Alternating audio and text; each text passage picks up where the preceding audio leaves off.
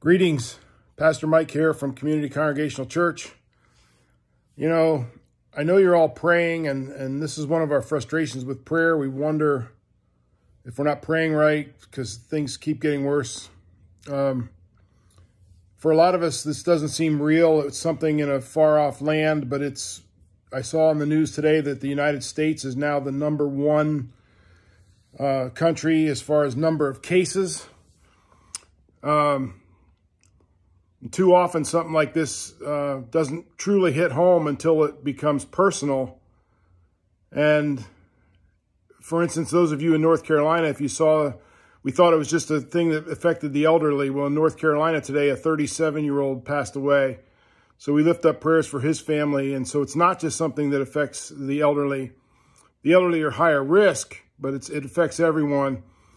Well, I just found out, I just got off the phone with my mother, and for my family, this just got personal. My cousin Josh is a physician's assistant at Mount Sinai Hospital in New York City.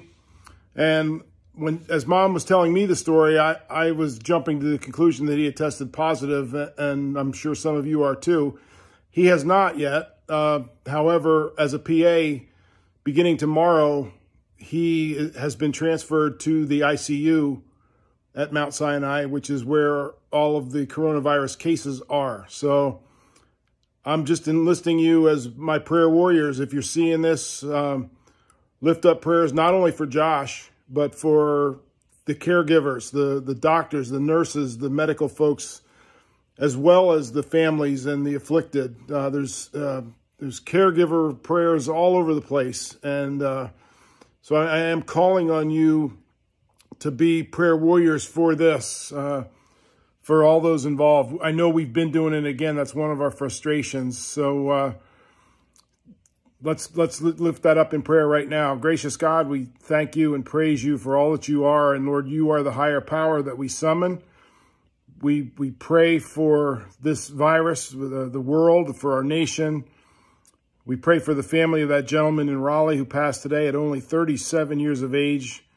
We lift up Josh and and all of the caregivers uh, around the world.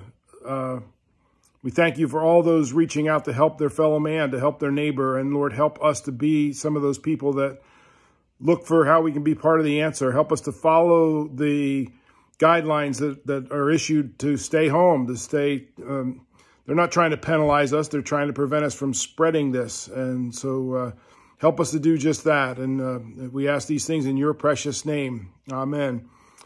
And Josh, I don't know if you'll get to see this or not, but uh, I, though that, that this whole video and these prayers are for you, brother, and uh, we love you. And you let me know if there's anything else that we can do for you.